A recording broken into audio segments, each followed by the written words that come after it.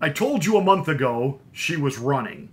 And I believe what Robert Mueller did this past week absolutely proves Hillary Rodham Clinton is going to make another run for the presidency of the United States. Good morning, it's Pastor Marty. This is the video version of the afternoon drive. Robert Mueller came out this week, and of course, some people are saying he was trying to take a victory lap, basically stating, you know, my report stands for itself. Then why did you have to come out and talk for nine minutes about a report that stands for itself? He then said, I'm retiring and I refuse to answer any more questions on this subject. That's even got some Dems torqued. Well, you can't just, like, retire and fade off and act like none of this happened and we're just supposed to, you know, take this report and you never have to answer why did you not go after Trump for the obstruction? And this lame answer that he gives that, well, you can't indict a sitting president. Right. But Ken Starr, when he was going after Bill Clinton, he made several recommendations of where he thought the president at the time had overstepped his bounds and authority and had committed, what's the word I'm groping for? Illegal acts. Now, he couldn't prosecute, he couldn't bring charges or do anything. That was up to Congress. See, Bobby Mueller hasn't done that.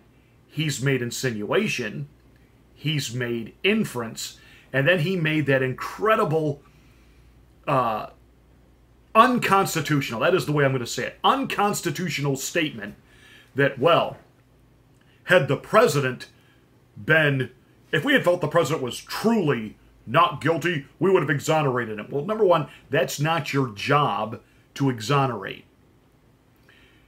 The constitutional level that we're going for here is innocent until proven guilty. Therefore, your assertion that, well, had we truly found him innocent, we would have said so. But you didn't find him guilty. You didn't charge him with anything.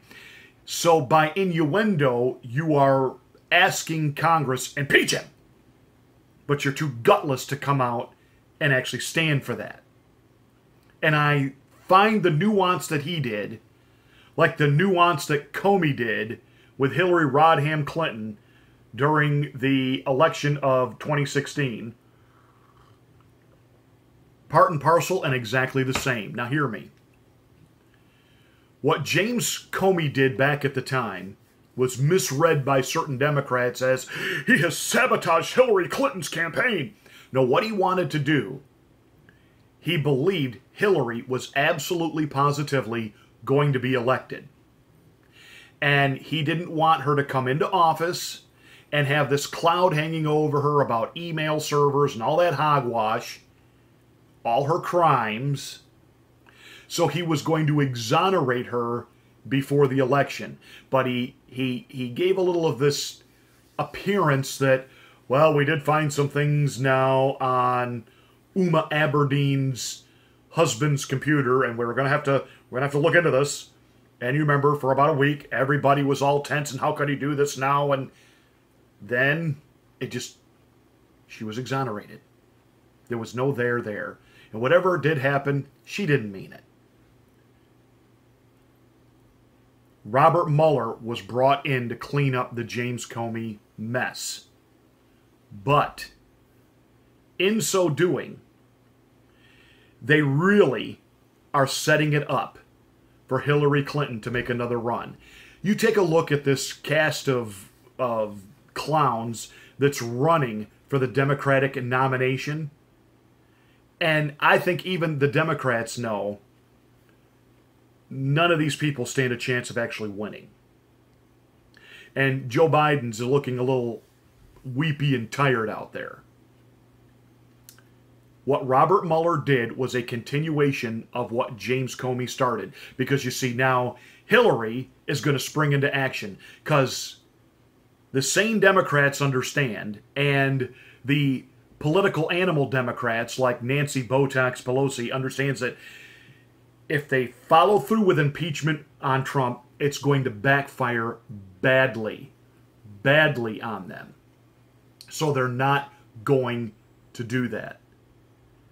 So Hillary is going to put on her Superwoman cape and fly into action that only she can deal with President Trump. And the best way for that to happen is you've got to elect her president, and she will do something that no other president has ever done bring charges against a former president. I'm telling you that what Robert Mueller did, he was trying to provide cover fire so that Democrats could have a, quote, excuse to go after President Trump. They're not going to.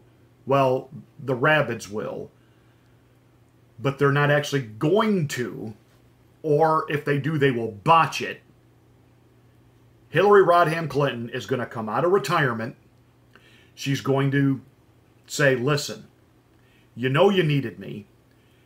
Robert Mueller has all but said the Russians did interfere with the election, and therefore, therefore, I should have been the president.